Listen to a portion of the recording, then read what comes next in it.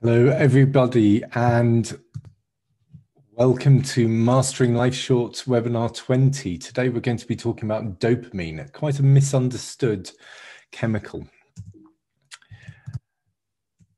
So, back in the day, uh, Forrest Gump said life is like a box of chocolates. And yes, it is, but uh, possibly not in the way that uh, he was expecting. So I'm going to be talking about why chocolates, especially the the sort of selection type, uh, really work with dopamine. They're very very clever.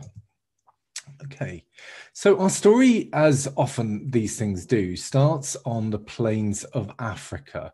And if we think back to what we needed back in the day when uh, human beings evolved, we needed to work together as groups we needed to find high calorie foods. Uh, so we needed fat and we needed sugar and we needed salt as well. And we needed to find them fast and we needed to go and get them.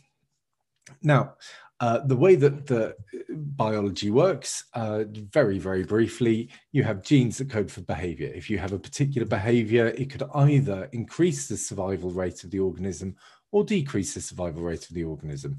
If it increases it, then the genes are passed to future generations. If it doesn't, it's lost. And then the genes can go back uh, with or without mutation to the next generation. Okay, so we have a load of genes from the past. Now, the problem is that some of these genes are still in our bodies, expecting us to be in pl- the place of scarcity on the plains of Africa. And they, the, the, the genes and what they're coding for have, have been hacked by modern day life. So, uh, what's the link between genes and what we do? So, in our uh, our genes code for the neural circuitry in uh, in our heads and it codes for the neurotransmitters, those chemicals that move around in our heads.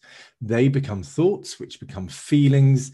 And when we get those feelings, we then do things. So I feel scared, so I move away. I feel hungry, I move towards some food.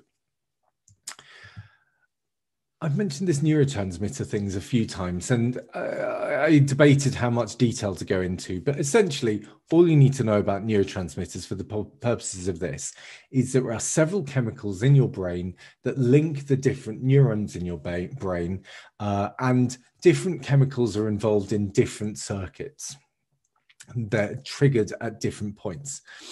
Now, there are certain neurotransmitters that really exist what's within what's known as the peripersonal space.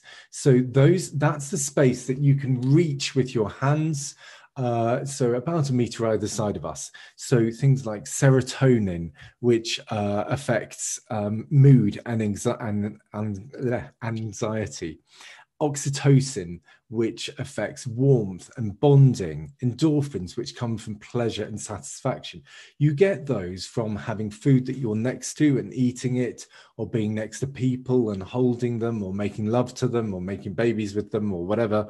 All of these things happen within that space. None of that encouraged us to go outside our own space to plan into the future. All of that is very much about the present. Dopamine is different from all of those other neurotransmitters in that it focuses on what's further away. Dopamine is the chemical, for example, that's involved with uh, us learning that if I went to a certain tree at a certain time of year and there was a certain fruit on it, if I take, take that fruit, then I get pleasure when I eat it.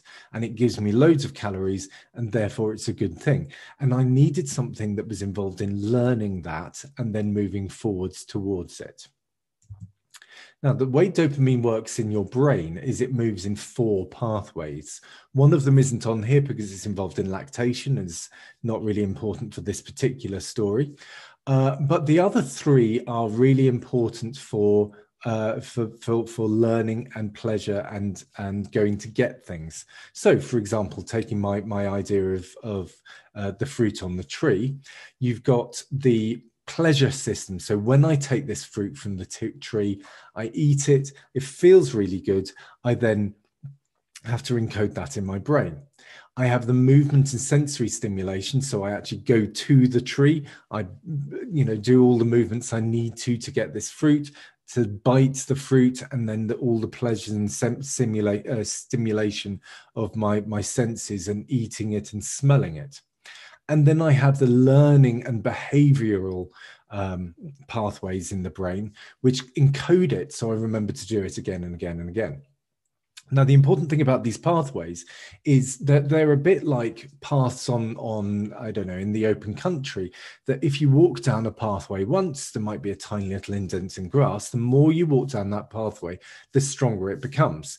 And just like uh, if you've ever gone on the motorway when some big truck has gone when it's been a bit hot and there's the pathways are, are, are sort of pushed into the road, the deeper the pathway, the harder it is to get out of it. So we find that there are some pathways in our brains, especially in modern day life, that are really, really deeply rooted, and it's very, very difficult to change change out of those pathways. Sometimes it's great if you've got the pathway that says eating healthy food is good for you. That's a great thing. Uh, if it's bad food, bad thing. Now, a lot of people think that dopamine is the pleasure uh, chemical and that came from this experiment. So you get a mouse, uh, a rat, and you put uh, uh, things in its brain to measure the amount of dopamine.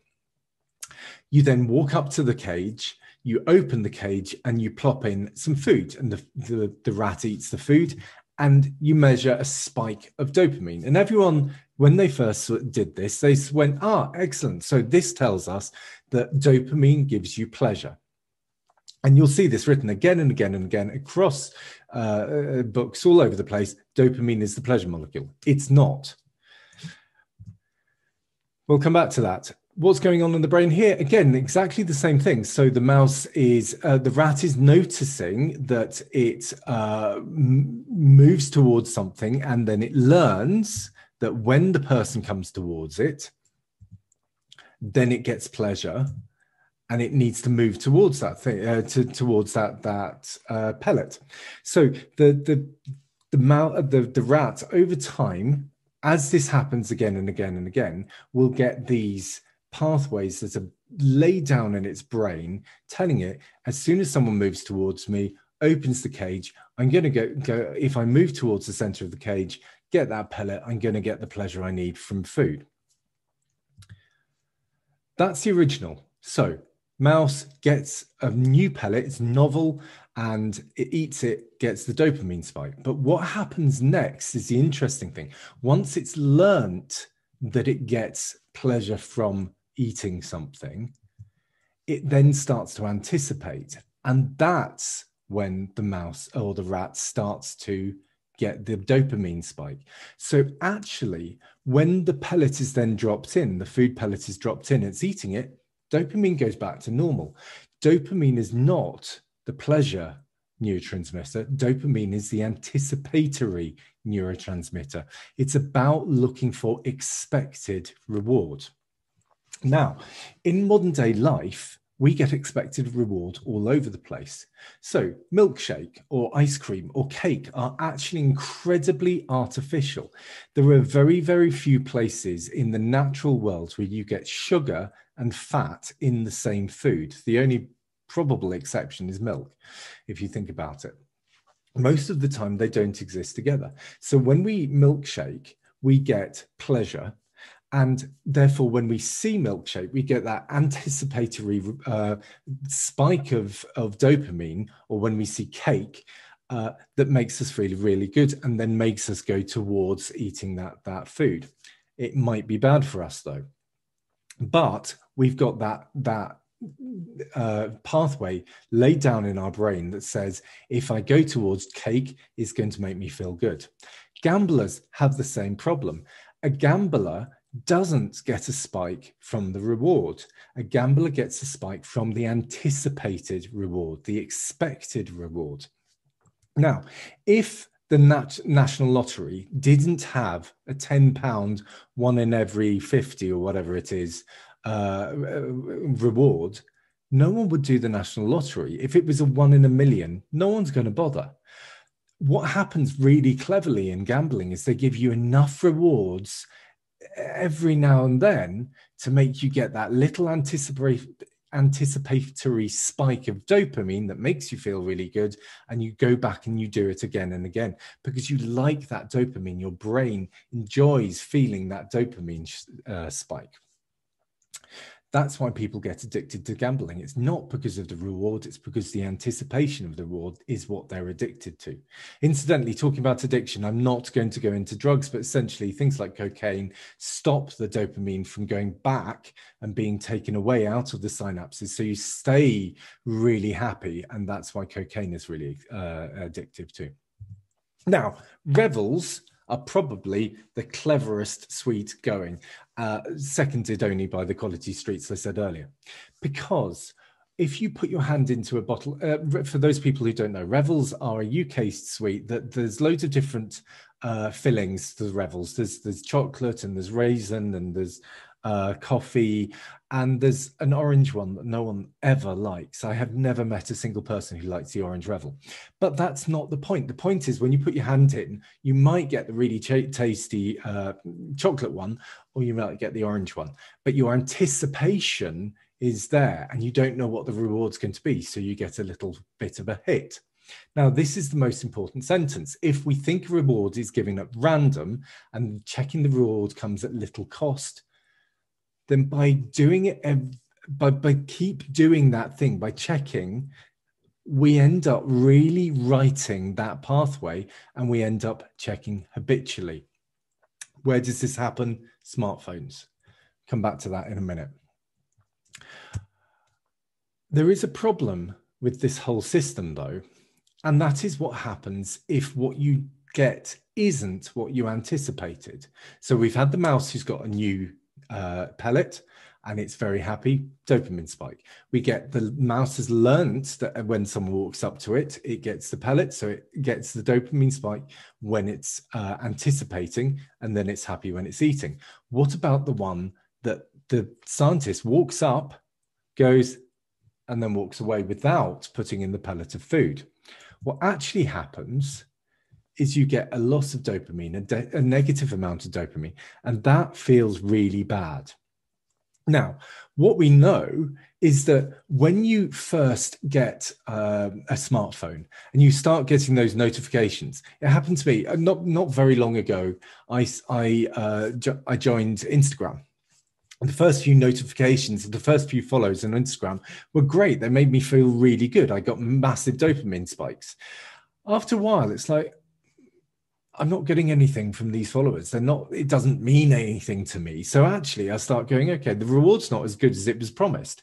Now, what normally then happens is that the uh, the the pathway starts to wear wear away, and you know if you you start to eat a food that you taste and you go actually this isn't as good as it was was supposed to be you stop going for it. That's why when you're a kid you love fast you know big macs or whatever. And as an adult you start going eh, okay they're fine but they're not they're not as exciting as they they they seem to be. So what businesses do is they do everything they can to keep our anticipation so high that it doesn't matter how good the reward is that we feel good. That's why you get milkshakes that look like that because you're getting such a big anticipatory dopamine spike that you go, wow, this feels really good. The fact that the, the milkshake tastes rubbish afterwards doesn't matter because you've already had the, all the pleasure. You only need to go back three or four times and look at them. There's so many different ones. So maybe the the the one with the colored hundreds and thousands didn't taste great, but the brownie one might. So I'll keep going back and spending a fortune on stupid milkshakes that are going to make me obese social media companies know that when you get that little round notification uh, signal then then yeah it, it, it, feels okay for a while but mm, after a while you realize it's not that great. So what they do apparently instagram have started holding back likes. So you put a post out and you're waiting for that social validation. And at first you might get the dopamine spike and after a time you go it's like well, where has it gone? It's not there. No one loves me and then they'll flood you with all the likes and that extra flooding with the likes makes you feel really good so you get that random reward massive dopamine spike feels really good so they keep you in the system by keeping you going back Similarly, with you know email, you keep going back. You hear that ping. You know that it's likely to be spam, but it might be the one day that Richard Branson decided to send you his millions. Unlikely, but you know it might one day happen.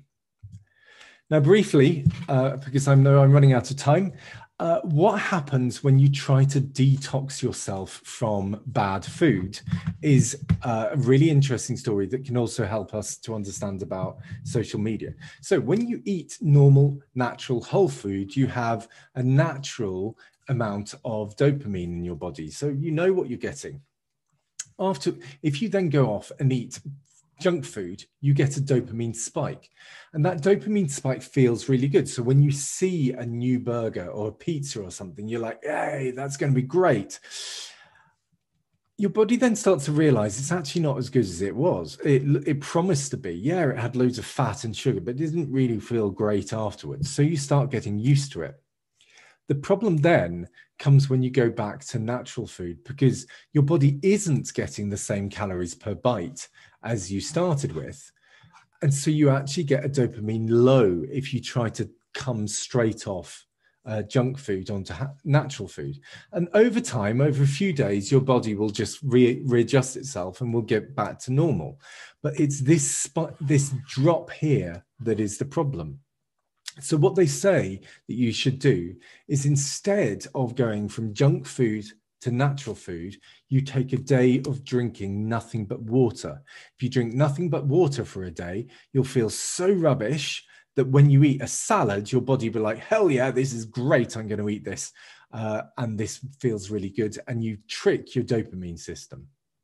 Similarly, with uh, social media, it would be exactly the same. If you have no social media, no dopamine spikes, you feel great.